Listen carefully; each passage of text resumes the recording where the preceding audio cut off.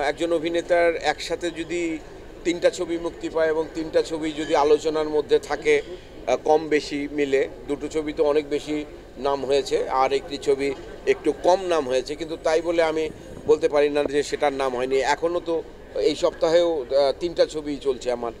সুতরাং সেই দিক থেকে মনে হতে পারে যে আমি এটা ভাবতেই পারি যে বাংলাদেশের দর্শক আমাকে সিনেমার ক্ষেত্রে গ্রহণ করেছে এবং তাদের যে প্রত্যাশিত যে চরিত্র প্রত্যাশিত যে অভিনয়টা তারা আশা করেছিল প্রিয়তমাতে বা সুরঙ্গতে বা সোনা আমাদের লাল শাড়িতে সেটাতে তারা আমাকে খুঁজে পেয়েছে। সেই জন্যেই তাদের এই আশাটা পূর্ণ হয়েছে এবং এটা করতে পেরে আমি আনন্দিত। এবং গত এক দেড় মাস যাবৎ আম, আপনাদের ক্যামেরার সামনে আছি।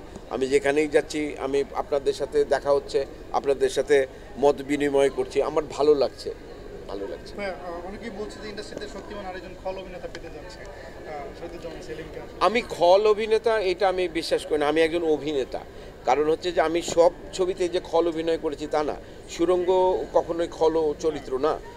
প্রিয়তমা একটি খল চরিত্রে আমি অভিনয় করেছি বা লাল শাড়িতে আমি অভিনয় করেছি। আগামীতে যে ছবিগুলো আসছে, তার মধ্যে অনেক ক্ষেত্রে অনেক দর্শক আমাকে নানান চরিত্র আবিষ্কার করবে। এখানে আমাকে কখনো খল চরিত্র আবিষ্কার করবে, কখনো সেন্ট্রাল ক্যারেক্টার হিসাবে আবিষ্কার করবে। সুতরাং আমি একজন অভিনেতা হিসেবে নিজেকে প্রতিষ্ঠিত করতে চাই এবং সেই চেষ্টায় আমি আছি। আমি আপনাদের কাছে দোয়া চাই, আপনাদের সাংবাদিকদের কাছে, আপনাদের মাধ্যমে যে আমি যে কাজটুকু করি আপনারা এটা ভালো হলে ভালো বলবেন মন্দ হলে আমাকে অবশ্যই মন্দ বলবেন। সুতরাং আমি ভবিষ্যতে যে কাজগুলো করব সেক্ষেত্রে আমি আরও অনেক বেশি সতর্কতার সাথে কাজগুলো করতে পারব।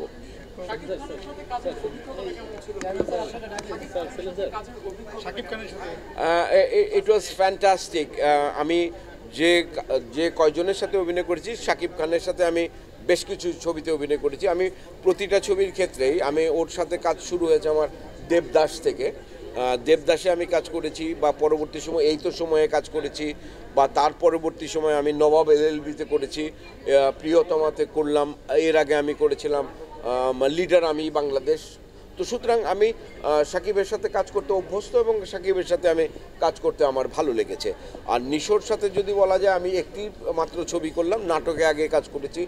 ও আমাদের একেবারে চোখের সামনে বড় হওয়া এক- একজন অভিনেতা। তো ওর সাথে আমি সিনেমাতে এই প্রথম কাজ করেছি এবং সিনেমাতে কাজ করে আমার ভালোই লেগেছে, খারাপ লাগবে আর অন্য অন্য যারা আছে, তারা, যারা আমার সহ অভিনেতা, অভিনেত্রীরা ছিল দেখা গেছে যে প্রিয়তমাতে আমার সাথে ডন ছিল, আরও দুই, তিনজন অভিনেতা ছিল। আমি তাদের নামও বলতে চাই। ওখানে ফাইটারদের মধ্যে সবসময় যারা সাথে থেকেছে আমার, তাদের কথা আমি বলতে চাই। একটা ছবি কখনোই একজন দিয়ে হয় না। একটা ছবি করতে গেলে একটি গ্রুপ একটা ইসের প্রয়োজন হয় যে সবাই মিলে দলগতভাবে একটি ভালো অভিনয় করতে হয়। তো সেই জায়গাটা থেকে আমি মনে করি যে আমার যারা সহ অভিনেতা ছিল, প্রত্যেকে আমার সাথে কোঅপারেট করেছে এবং আমি তাদের সাথে কাজ করবার যে পরিবেশ সেটাকে বজায় রেখেছে এবং আমি কাজ করতে পেরেছি।